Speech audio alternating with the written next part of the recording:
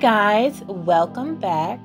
Okay, so as you can see here, I have just a varying selection of single shadows, all shimmers, multi-chromes, duochromes from my collection that I pulled out because I just thought they were so beautiful and I wanted to go ahead and swatch them. So all of these singles are from indie brands. So if you're interested in watching me swatch these and finding out which ones I have, stay tuned because it's coming up next.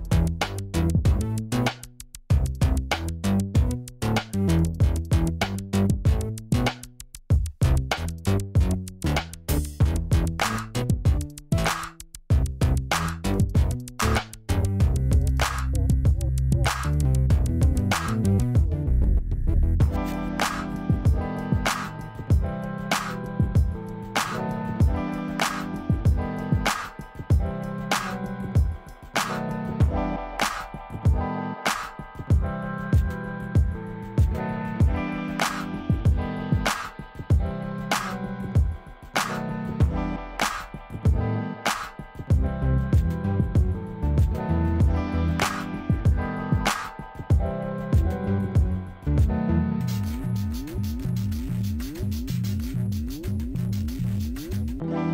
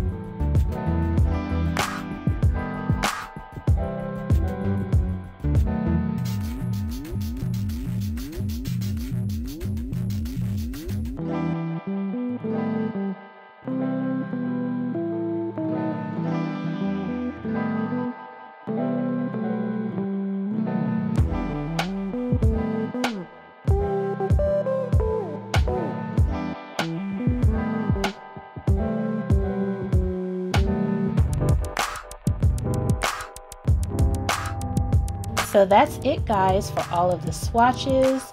They are so beautiful. Maybe you saw some that you want to pick up, but I really, really love my collection. So thank you so much for watching and I will see you on my next video. Toodles!